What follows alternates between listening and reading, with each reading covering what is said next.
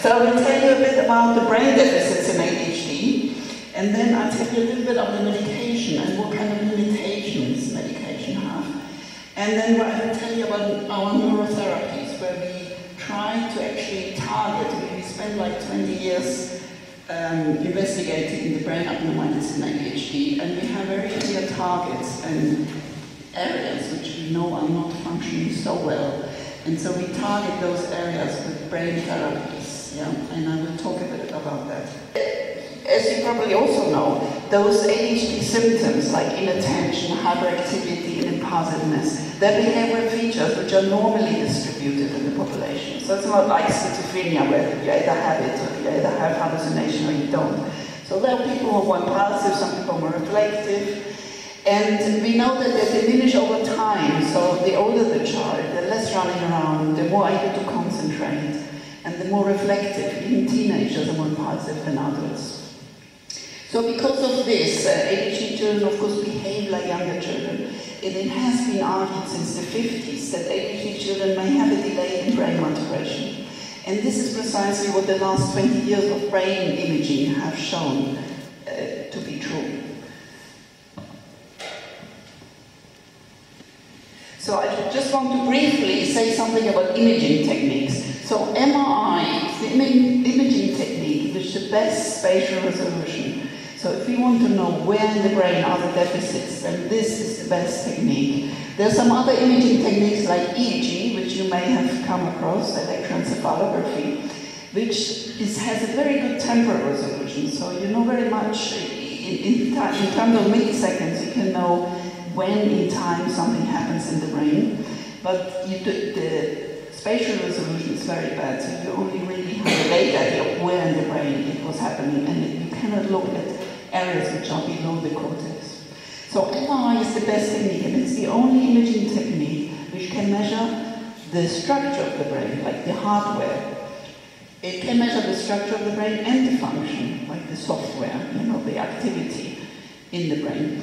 All the other methods can only measure the activity of the brain, but not the structure of the brain. So that's why MRI also has been used over the last 20 years in psychiatry to understand what areas are not normal in children with, with ADHD.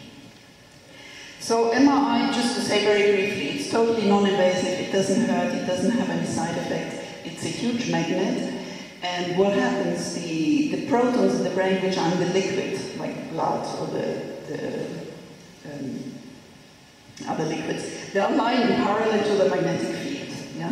And then a radio frequency is emitted, and then they flip out of the, of the 45 or 90 degrees out of phase, and then they flip back. So different areas in the brain have different water content, so different number of protons, and they flip back in different ways. And that's how they emit a different magnetic signal.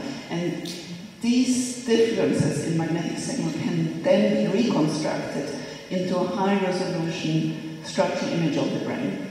It's very technical and, and, and complicated, but um, this is basically what happens. In fMRI, neurons, so in fMRI you measure the brain in vitro while the child does a task, like an attention task. In fMRI, the areas which are more active, they need more glucose and more oxygen, and the brain overcompensates and sends more oxygenated blood to these regions. And the oxygenated blood gives a better magnetic signal than the uh, deoxygenated blood. So the red blood gives better magnetic signal than the blue blood. So I will illustrate this later. But we know that ADHD children have problems in not everybody, and, and you have to be in mind that all the studies are based on group statistics. So as a group, they're impaired in several uh, functions, but that doesn't mean every child is impaired in every function. Some children have more problems with one domain, others not with other domains, other children are not impaired. So, but what has been found, the areas which are most, where they're most impaired are working memory, especially visual spatial working memory, which means holding information online for a certain time, like remembering a telephone number for a few minutes, that's working memory. Or inhibition, which relates to poor self-control. So ADHD children have more problems with controlling their behavior, and this can be measured in the lab in tasks where you inhibit the motor, you have to inhibit the motor response. So you press a, a button to a go signal and you have to inhibit the button press to a no-go signal.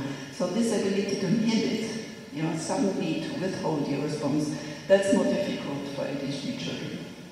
Another problem they have is with concentration, of course, and in the, in the lab you can measure it in tasks of sustaining attention or vigilance. Another domain which is often still neglected is timing. So ADHD children have problem with timing, and if you think about it, impulsive people do things prematurely, too early in time, and they don't consider the consequences of their act. So they act in the moment, and the spur of the moment, without thinking what happens later. And of course, this has to do with problems with forward thinking, thinking of the future. And all these functions are actually mediated by the frontal lobe, which is one of the latest areas to develop in the brain. And the frontal lobe is also important for this forward thinking, you know, thinking of the future consequences. So ADHD children live more in the moment. And they have also more problems with waiting. And it has been shown that this is related to the fact that when they have to estimate time, time is time intervals, for example, they overestimate. So time is more subjectively elongated. It's more insufferable for people who are impulsive. So they find it more difficult to wait. So for example, in tasks where you have to choose uh, whether you want a small reward now or larger reward later, an ADHD child may go more for the small reward now, while someone who's more reflective, of course, will go for the later reward because it's bigger and, and it's better. But you have to, of course, then keep in mind the future. You have to think of the bigger reward in the future, that that is better than the present reward. And if you don't care about the future, you go for the thrill of the moment. This has also been found to be impaired in people with drug abuse, and it may be related to the fact that, of course, substance abuse is linked to ADHD. So in fMRI, what we do is the child sits in the MRI scanner and, well, he, he lies. This normally doesn't sit. So he, his head goes under here. There is a mirror and he sees a computer get task. And he does the task with the button press. So in this example, for example, he did a task where he had to inhibit a motor response. And then we look at the areas which are activated uh, when he does the task. So as I said before, um, sorry. Uh, so as I said before, this doesn't work. Okay, never mind. So areas which are activated, they have uh, get more red blood because they need more oxygen, more glucose, and then you can see they, they give a better magnetic signal, and you can see these areas in, in sort of orange blobs. And then what we do is we compare control children with ADHD children, and we look at which areas are not activated as much when they do an attention task or an inhibition task. And in this example, this is a key area uh, which is impaired in ADHD patients, which is actually the, the inferior frontal cortex.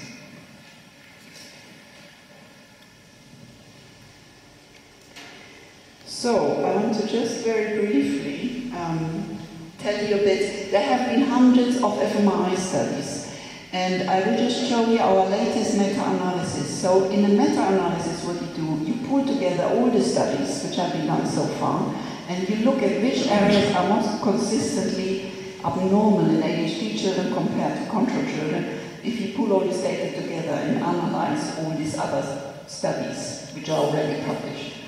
So what we find is that doing tasks where children have to inhibit a motor response or where they have to inhibit a distraction, we find that children with ADHD have less activation in this area here, which is the inferior frontal cortex, and the basal ganglia. So the basal ganglia is in the middle of the brain, and the frontal, re frontal regions connect with the basal ganglia, different frontal regions connect with different parts of the basal ganglia, and they form what we call frontal basal ganglia networks. They're also called frontal striatal networks.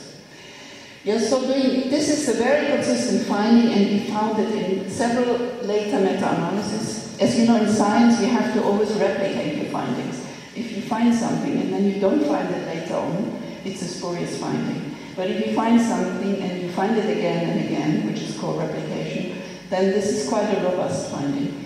So So this is a very robust finding. We found it in three meta-analyses and other studies. There are also three other meta-analyses, so other people have also found this. So this is a key area which is impaired in ADHD, doing um, inhibition tasks, but also doing sustained attention tasks.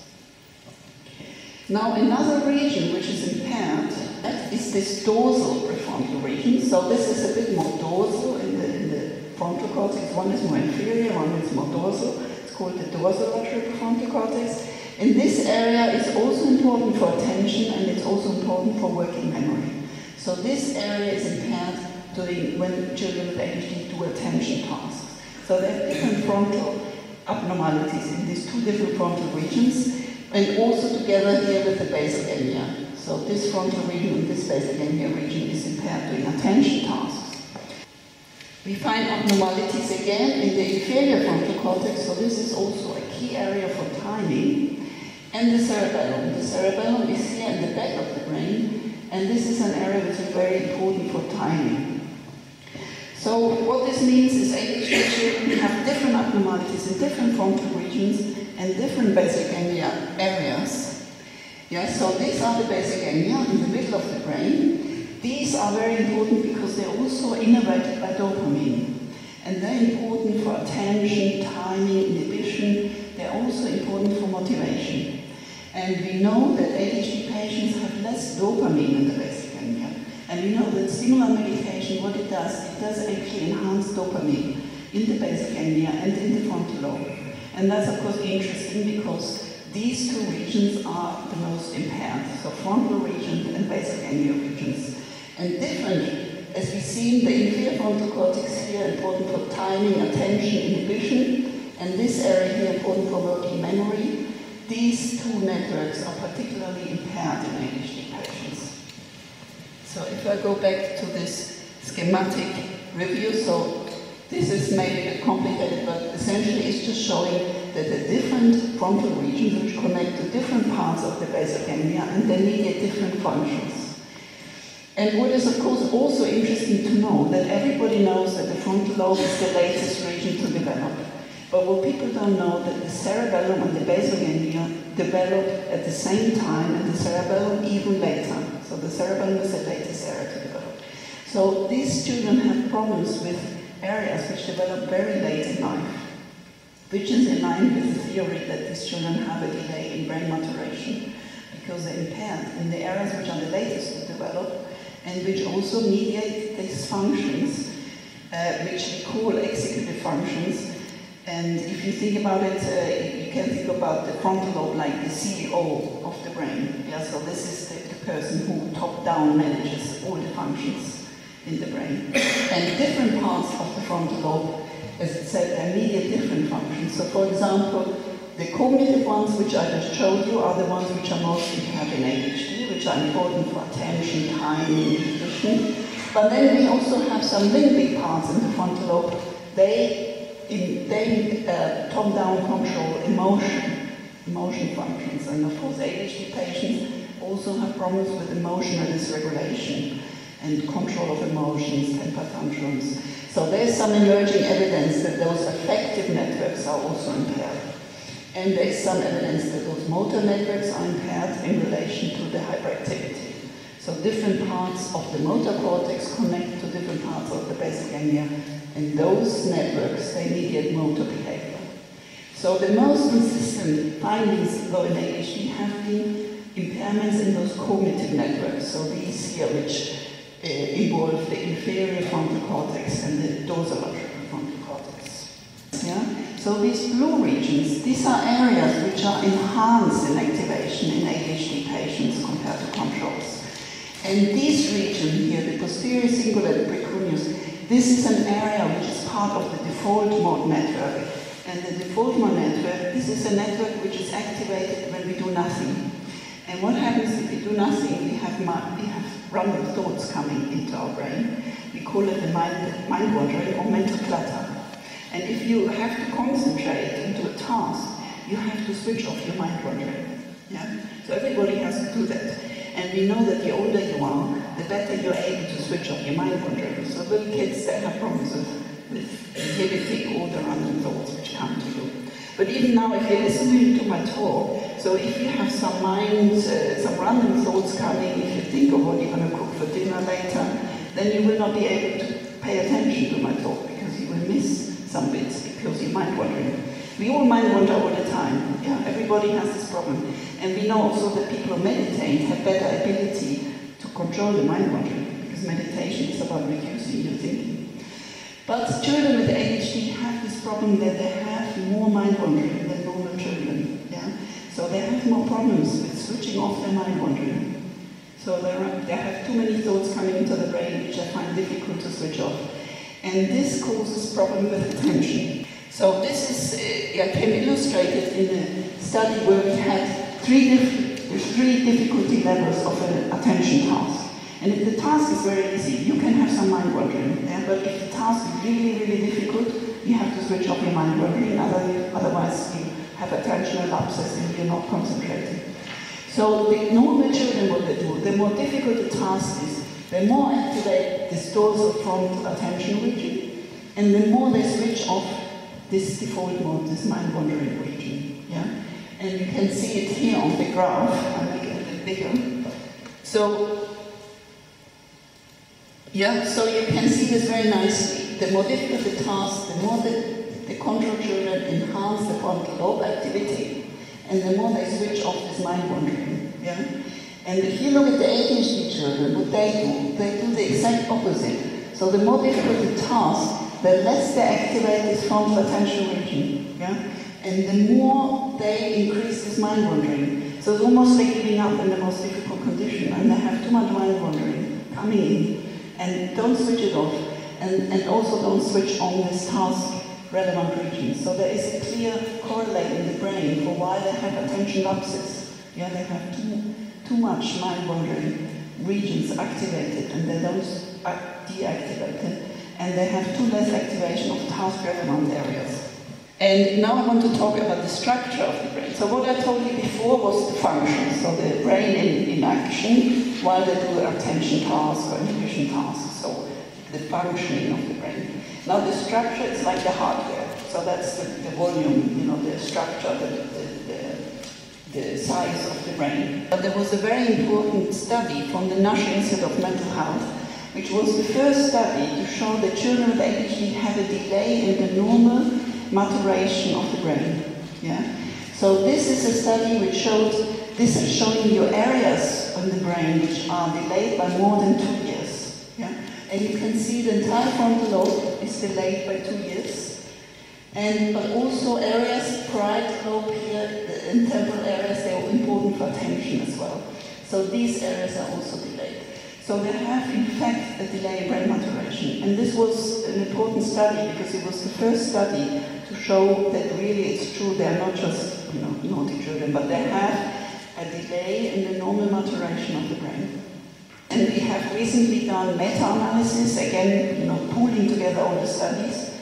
And we looked at not just the cortical areas, what I showed you before was a study where they only looked at the cortex, so the cortex is here, yeah, and, but subcortical areas are deep in the brain. And MRI has the advantage that can, it can look at those deep brain regions. So if we look at the whole brain, we, we want to see which area is most impaired. And what we find is the frontal lobe, and these are two studies that is showing the same results, but I just want to show that this is again replicated, a replicated finding. So we find it again two years later with bigger numbers. In the last study, we had 1,280 children, so this is really quite a large study. So the area which is smaller in ADHD patients, apart from the frontal lobe, which we already know is abnormal, is also the basal ganglia. Yeah? So the basal ganglia are smaller in volume. And the basal ganglia, as already said, you know, they are, of course, form part of the frontal basal ganglia networks, which we shown are also reduced in function. Yeah? So these areas are not working very well when ADHD children do the tasks of attention or inhibition, but they're also smaller in structure. And of course, these two correlate. So if you have areas which are not properly developed, you also cannot recruit them as well as normal children because they're not yet as developed. Yeah? So this is really consistently showing these frontal basal ganglia networks are impaired in ADHD patients. So this is big effort all across the world where people collect data on imaging and genes all across the world from all the labs who've done MRI studies. And there are different working groups in every major psychiatric disorder. Yeah, we are part of the ADHD working group, which are the light blue ones. And so within this group, we've collected data across 23 centers of the world. And this includes data from North America, Brazil, UK, of course, uh, many European countries, Russia, China. And this is really the largest study which we published last year. And what we found is, again, what we found is we just replicated this finding again that the basal ganglia are indeed smaller in ADHD patients. And the cortical analysis we have not yet published, but I can tell you we find frontal areas also to be there. So we replicate this finding that frontal areas and ganglia areas are smaller in ADHD. But what you need to bear in mind also that the findings, the, the, the differences are small. Yeah, there are about 2% differences. So it's not like they have massive abnormalities in the brain. They have very small subtle abnormalities which seem to be large enough to cause problems, but they're small. Yeah? So it's not huge. And you have to also be in mind that all the studies are based on group statistics. That means some children will have more abnormalities and other children will have normal brains. There are children with ADHD of normal brains yeah, or normal activation. So in, in a group statistics, you always have the people with the worst abnormalities dragging down the group. You know. So, but if you look at if you look at how many overlap with healthy control children, there are always some children who will overlap. Yeah. So it doesn't mean every child with but it also means some children with actually have more abnormalities than two percent because this is just a mean, and some have less. Yeah. But in, total, in, general, these are small differences. So this is not uh, like a neurological disorder where you have massive brain deficits. It's a small difference. The other area which this group would be found is actually limbic areas, and the limbic system is important for motion processing. Yeah, and of course this is, is interesting because we know now that ADHD patients also have emotion dysregulation problems, and the limbic system is here and important for motion processing. The, the findings show that it is not a myth, of course, ADHD R is characterized by abnormalities in the structure and the function of the brain. And the areas which are most impaired are the basal ganglia regions and frontal areas. And within the frontal regions, the inferior frontal cortex one area which has most consistently been found to be less, less uh, working less well. So they recruit this area less because it's less developed. And they have problems with switching off this mind wandering. we do. So medication, of course, is one of the best drugs we have in psychiatry because 70% of patients respond to stimulant medication. This is, uh, in fact, one of the best uh, drugs. Uh, there's no other drug in psychiatry where 70% of patients respond to. However, uh, it has, of course, some side effects. Uh, the most uh, difficult side effect, I think, it stunts the growth. So people grow less than they would according to their parents' height. And what stimulant does is it blocks dopamine transporters in the basal ganglia, and that leads to a release of dopamine. And of course, dopamine is important for attention, inhibition, uh, motivation, and that's how it improves behavior because it improves those dopamine levels, which are smaller in ADHD patients. In the frontal lobe, it also enhances uh, noradrenaline, which is also a, a transmitter which is very important for attention. So we, we've looked at the effect of stimulant medication on the function of the brain. So what does it do to the activity of the brain in the scanner when ADHD children do a cognitive task? So again, we've done a meta-analysis of all the studies which were available at the time in 2014. And what we found is stimulant medication, in fact, most consistently enhances the activity of this right inferior frontal region, which is of course a key impairment in ADHD. And this is of course interesting because it also enhances the activity of the basal ganglia, which is this region here. Yeah, so this is the frontal cortex, the basal ganglia.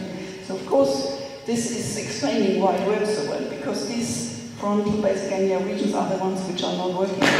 So if they're enhanced by stimulant medication, then that's of course a good thing.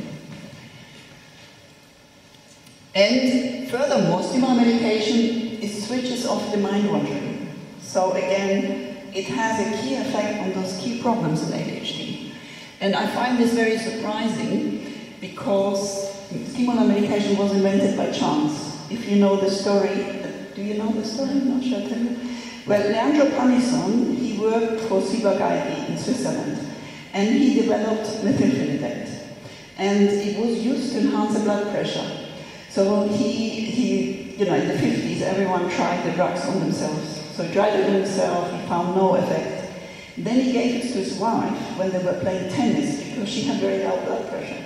So he gave it to her, and then he found she was actually winning him, and her concentration was much better. So he thought, okay, this, this looks like we could use it for ADHD children, it improves the attention. There was pure chance finding, like most drugs in psychiatry, are found purely by chance. But what is interesting that this drug, which was found by chance, nevertheless targeting the key abnormalities in ADHD. And uh, that's why it works so well in 70% of patients. So, of course, myself and others, we have all been worried to give stimulant medication to a developing brain, yeah, to children who have, whose brain is still developing, because we thought we interfere with the normal neurotransmitters and we know in mice, if you give them very early stimulant medication, it messes up the dopamine system and then they get depressive kind of anxiety problems. So everybody has been, not everybody, but most people have been worried that uh, to give drugs to children who are still developing without actually knowing what it does to the brain. And I think it's still, of course, a worry. But most studies, I have to say, the latest studies have found that similar medication has no effect on the structure of the brain. So it improves dysfunction of the brain, but it doesn't affect the structure in a positive or negative way. Yeah? So the, I have to say that there's only one study, which is a randomized controlled trial, which is of course the gold standard method. And, but this study also found no effect. So they gave children the ADHD medication and they tested for a year and they tested another group with placebo, and the stimulant medication had no effect on the structure of the brain. So this is good news. It does not interfere with normal brain development, so it doesn't damage the structure of the brain. Now, PET studies, these are the best. Uh, positron emission tomography is another method where you measure the chemistry of the brain. So we've seen the structure and the function, but the chemistry of the brain is of course very interesting in psychiatric disorders where we know there are some neurotransmitter abnormalities, so there are some biochemical abnormalities. But this can only be done in adults because you have to inject the radioactive substance, which then binds to whatever you want to measure. So studies have looked at the dopamine transporter. And of course people look at the dopamine transporter because we know that stimulants block dopamine transporters in the basal ganglia, and that's how they enhance dopamine. So people have thought there must be something wrong with the dopamine transporters. Yeah? And so what we found in our meta-analysis of all the, these studies is that the dopamine transporters are indeed smaller in medication-naive patients. Yeah? And this makes sense because they have less dopamine. So dopamine transporters, they take up the dopamine. Yeah, it needs to be taken up and then it needs to be released and then taken up. So the dopamine transporters have this job of taking up dopamine. But if they're, so if you have less dopamine in your brain, then you need less dopamine transporters. So this was logical. But what we found, and this was not, uh, was very surprising, we found that people who are, who are medicated long term, yeah, these were adults. So these are all the controls, these are the studies. Three studies actually exist, and they have found them to be abnormally high so what does it mean? It means that if you give an adult stimulant medication long term, they go up. Yeah? So the brain adapts. So the brain adapts to the drug. I hope this is sort of clear. Is that clear? So basically, stimulant medication blocks dopamine transporter, so you have more dopamine. Yeah? So this is fine. So the child works much better. Everything is, is great. The school performance is better. But what the brain does. For the brain, this is too much dopamine. The brain is not used to so much dopamine. So the brain adapts and builds up more dopamine receptors to get rid of all this extra dopamine. Yeah? And if the dopamine receptors are too high, it has been shown that this is related to poor attention. Yeah? So this is not good. And what is also interesting, of course, that in line with these studies, there is, was this large multi-center study. Many people may know the MTA study. There was a multi-center study across America where they found that stimulant medication is better than behavioral treatment. And this study was influential because since then, you know, it's very established stimulant medication is much better than behavioral treatment. However, they followed them up after years and years, and they found that stimulant medication is better after one or two years, but not after three, six, or eight years. Yeah? So the effect is, is, seems to be going gone. So children who are taking medication are not better than children who are not taking medication after three, six, or eight years. Yeah? So these people also argue there must be a brain adaptation, which is in line, of course, with our imaging studies. Yeah? So the brain adapts to the drug. And we know this from stimulant abusers. People who abuse drugs, the brain adapts to the drug. So they need more and more higher doses to get the same kick out of the drug. This is well known for cocaine abusers or stimulant abusers, uh, brain adapts. So if stimulants don't work longer term, then we need alternative treatments. Yeah? And that's why we're looking at the moment, everybody is looking at alternative treatments. Cognitive training, fatty acids. We didn't find anything with fatty acids. And, uh, you know, behavioral treatments do not work very well in ADHD. So what we are doing now is we are, we wanting to target those brain abnormalities. Because this is the whole point. We did imaging to understand which areas are not working well. And then we can target these regions with treatment, which is targeted to these areas. Yeah? So the reason, of course, why we prefer or want to test brain therapies is because drugs have side effects, they don't work longer term, so we need something else which is working longer term. So I've shown you this area is consistently reduced in activation. So this is a good target. You know, we spent 25 years investigating the brain. We know this area is not working well. So we can try to improve this region with brain therapies. And what we also, I also showed you, this area is not working well, but this area is enhanced with stimulant medication. So we can mimic the stimulant effects, but without the side effects, if we do something else to enhance the activity of this region, but without the drug. So,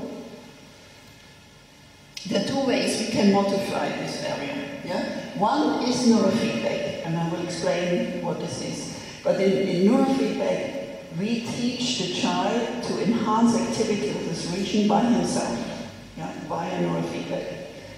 And the other way is brain stimulation. Yeah, so we can stimulate this area with a, a little electrical activity, and at the same time the child does some cognitive training and that by uh, that we can also enhance activity of this region. Because we have done a little proof of concept study, and of course our theory was is if we teach children to self-regulate this activity, then this has a better effect than a, a, a longer term effect than a drug. Because you know, if you give a stimulant today, tomorrow the effect is gone, or even the evening. Yeah?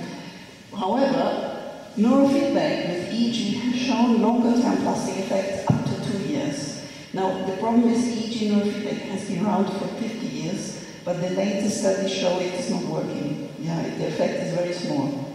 But fMRI neurofeedback is much better because it has a better spatial resolution and you can target those key areas which are normal. And the inferior frontal cortex, for example, you cannot target with EEG because it's too deep in the brain and EEG is far too superficial. So in neurofeedback, we do exact opposite what we've done before. So before, the child does a task with the button box, and then we look at which area is abnormal. Now we do the exact opposite.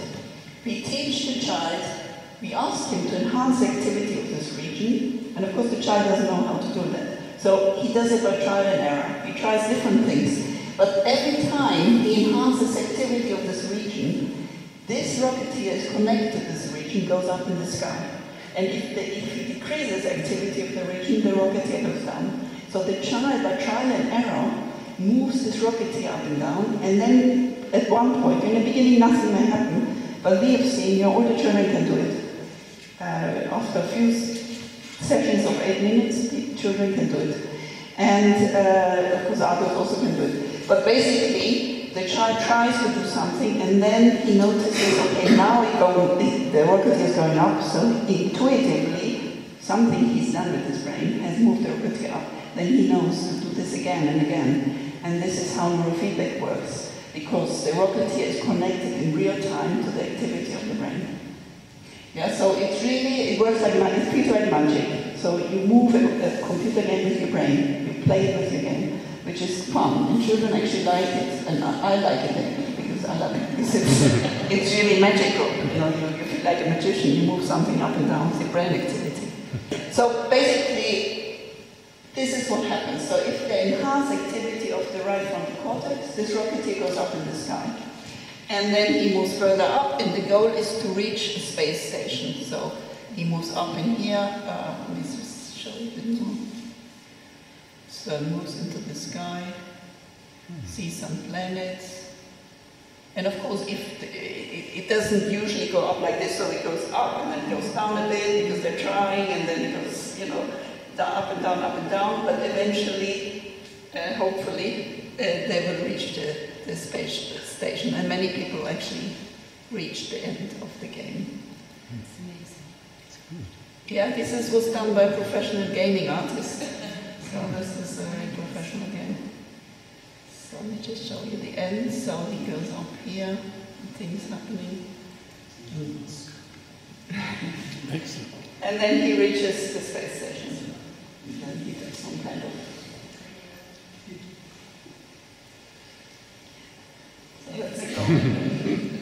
So we've done a randomized controlled trial in very small numbers, 31 children, 12 to 17, and we had one group who had to enhance this inferior frontal cortex, and then we had a control group who had to enhance another area in the back of the brain. So, and we, we looked, of course, at improvement of performance, of clinical symptoms, and longer term effects. So what we found is children with ADHD in fact can do it. Yeah, and when we did this study, no one had actually done this study in children, let alone children who have problems with self-regulation. But they can do it, and normal the adults, they need four sessions. In ADHD, find they need eight sessions. So after eight sessions of eight minutes, they actually start to upregulate this inferior frontal region. Yeah, so they manage to activate this area and we had about 11 runs of 8 minutes.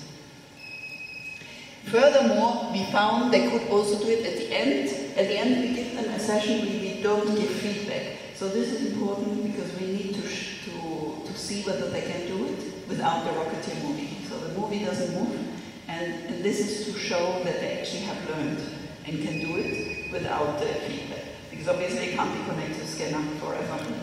so as you can see, in the first session they have a little activation. After the 11 runs of 8 minutes, they actually increase activity. And in the transfer session without the feedback, it's even more activated. So it worked very well. And when we looked at the performance, we found, in fact, a reduction of clinical symptoms of 20%. This is about the medium effect size. But what was most interesting, that after almost a year later, 11 months, we found a reduction of 26%, and the effect size was very large. This is an effect size of 1. It's the same effect size like medication compared to. So this was a really large effect size, but what is most interesting, of course, medication wouldn't work 12 months later if you stop giving it.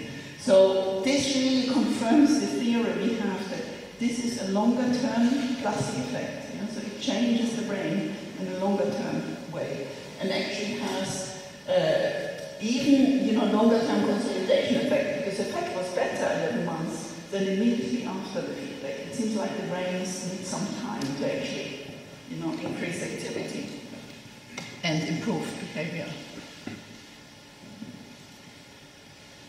So basically we can say our feasibility study shows yes it works, ADHD children can do it. They can self-regulate the brain. It's related to symptom reduction. We also found they had enhanced attention performance and an attention task, and we found they had better brain activation after compared to before, and an inhibition task, and we found no side effects. So now we want to replicate the findings in a larger study where we're looking for 100 ADHD children, and we also include a placebo condition. You to rule out it's not a placebo effect. We don't think it's a placebo effect because the brain changes were related to the behavioral changes. If you find this kind of correlation, it's unlikely it was a placebo effect. So if it's placebo effect, they wouldn't be related. But nevertheless, you know, you have to always double test and you also have to replicate it. You cannot just immediately go into the clinics and say, look, we have a new treatment, we need to test it again in a larger group. And so in this study, which uh, Marion was here was actually uh, leading, we're looking at 100 boys with ADHD, and we have an active group who has, again, to enhance this right inferior frontal cortex, and then a control group which uh, is getting sham. So sham means you get feedback from another person which is not related to your activity. Now, however, although it looks, you know, not very nice if your child is in the sham condition, however, studies have shown that sham feedback also has an effect because you're trying to self-regulate the brain, and just trying to self-regulate the brain enhances self-regulation brain areas. So this is quite interesting, and also it's an attention training because you're staring at this rocketeer and try to regulate the brain. So this is what we do. So it's a double-blind study. So the researchers are blind and the parents and the children are blind. So I'm the only one who knows which condition they're in, but I'm not telling everybody, of course. And the inclusion criteria are boys between 10 and 18. They have to be, they can be on medication, but if they're on medication, they have to be on the same medication for the whole time of the study. So you cannot change it in the middle of the study because that would be a confound. And we exclude comorbidity with other major psychiatric disorders like autism, but uh, we allow, uh, you know, mild depression or anxiety, and um, of course neurologic illness we also exclude. And complications to MRI, for example, braces. So in MRI you cannot have metallic uh, elements in the body. So that would be dangerous. So this is the uh, this is the study design. So we do very thorough assessment of all sorts of clinical measures. We check for comorbidity with autism and other disorders, and then we look at a large battery of cognitive tests of inhibition, attention, timing. We expect them to improve after the treatment compared to before. And then they have three, uh, four scanning hours where they do the neurofeedback training itself. And at the end, we assess them again after the training, a day later, and then after uh, six months to see whether the effects are longer term, whether they're lasting. Now, the brain stimulation is another way to modify this area. And most people know more about TMS, yeah, because TMS, transcranial magnetic stimulation, is used in depression. I won't go into details, but basically, the studies on TMS have not been very promising. There have been four studies in ADHD, and uh, one study found something, and two of studies in adults found, found nothing. And then there was an open label study, but where you don't know whether it was placebo or not. So it has not been too promising. It's also not so good for children because TMS actually does hurt a bit on the, on the scalp, so not very comfortable. However, what we're using is, is a new one. It's called transcranial direct current stimulation. And this induces a very small electrical current to the brain, to certain brain areas. And we know in an electric current, it's very small, one microampere, so that's not much. It doesn't hurt, no side effects, and, and it doesn't, I mean, apart from a small tingling maybe under the area of stimulation. But uh, they're also rare, so it's quite safe, although it sounds terrible, but it's very safe. So we know that in an electrical current there's an anode and a cathode, and the anode increases the excitability of the neurons which are underneath. So with the anode, you can actually increase activity of the underlying neurons. With the cathode, you decrease the activity of the underlying neurons. So this is a good way to actually enhance or downregulate regions, and it's used in, in epilepsy, for example, to downregulate the areas which have a focus, which are overactive. And it's been used in children with epilepsy, and it's been used in many, many other healthy children. It's been used in children, and never sort of side effects have been found. So we use this helmet just because it's more comfortable, but we stimulate also just one region. So what is good about this method is it actually has shown that this can lead to longer term connections between neurons. So it can lead again to neuroplastic effects. And in healthy adults, it has shown that after the, the study which has tested the longest period was one year, and they actually found that the simulation improved cognitive performance and that lasted one year. And you can even buy it on the internet. So here there is this thing called Focus. You can buy for 250 pounds on the internet. And I would not recommend it though because it's actually sold for normal people and there are many people who use it. If they go to have an exam, they use this stimulation to stimulate certain frontal areas. But there is not yet enough research in, in children that, that I, I, would not recommend it. Also, it has been shown that this works better on people who have uh, not, whose brain isn't working so well than in healthy people. So it's better to use it actually it's more justified to use it in children with ADHD who have problems with activating certain areas. Because if your brain is also already activating at the optimal level, then you know you may actually damage your brain rather than improve something. So it's not really good that they're selling this on the internet without you know thorough research. But you know how these uh, people like to make money out of patients.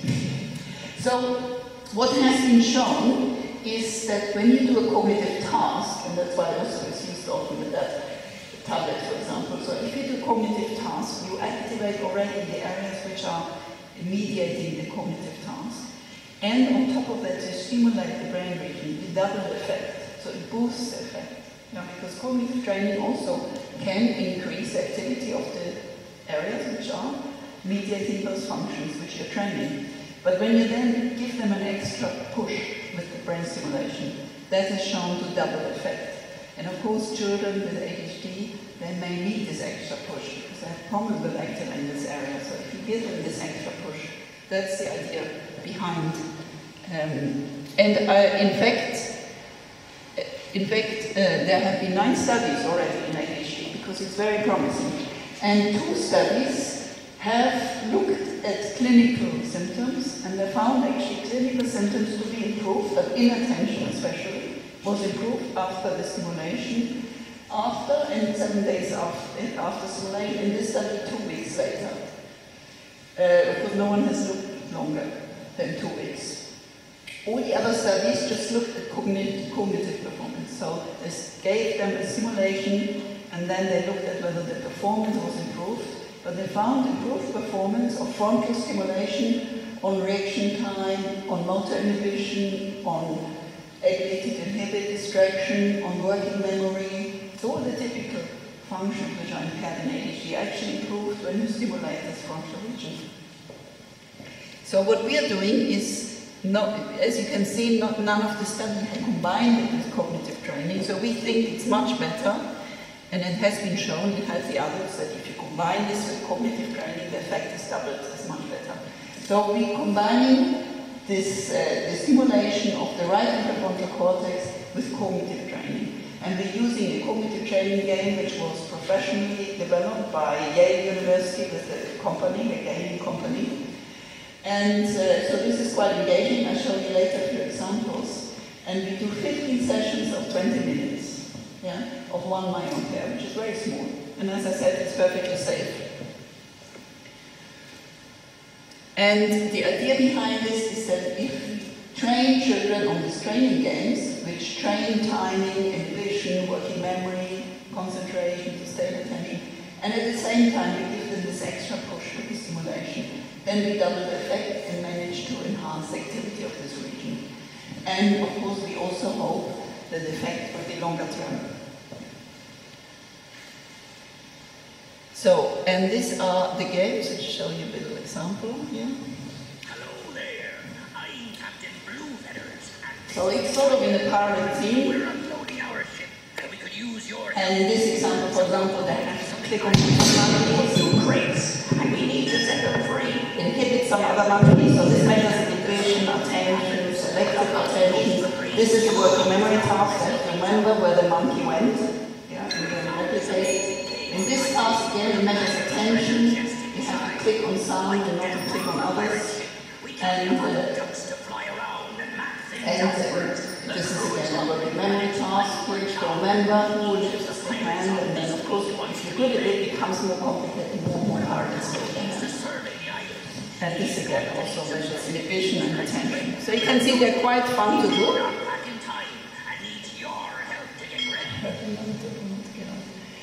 So this is a commercial game, and what has been shown also in research, uh, that cognitive training of working memory, yeah, in ADHD does not transfer to general behavior, so that hasn't shown to work. But the recent studies have shown that if you train many functions, that is more likely to work. So training one function doesn't seem to transfer, but if you train multiple functions, then this is of course more, uh, more likely to generalize to daily behavior because in school, for example, you need many functions. You need working memory, you need to concentrate, you need need to all these functions. So it has been shown that those studies which target multiple functions are more effective to improve ADHD behavior than those studies where you just train one single function, which makes sense, doesn't it? So we, we have 40 boys with ADHD, and the active group gets the real stimulation, and the control group gets the sham stimulation. So he gets stimulated for a few seconds and we switch it off. So people cannot tell the difference. So it's again double blind, so that we won't know, nobody will know. And we have 15 sessions of over three weeks. So they have to come every day for three weeks. And they get this, uh, you know, the stimulation, as I said, with the cognitive training. And the design is similar to the other study. We also test six months later.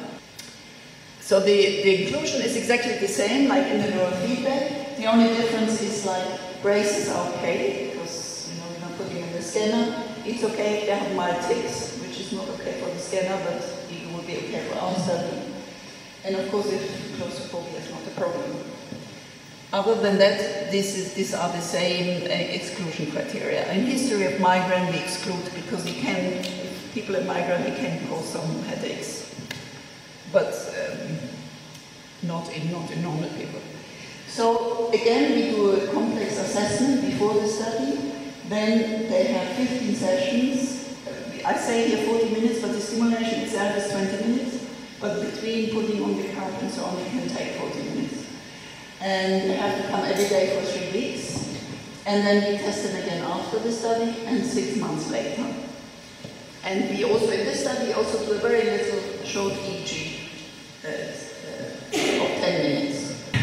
So um, that's basically it. I just want to thank all the people who have been involved in the study, and thank you for listening for so long.